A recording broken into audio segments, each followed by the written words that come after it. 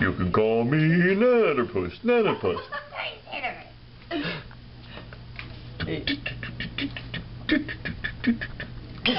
You can call me Netterpuss, Netterpuss.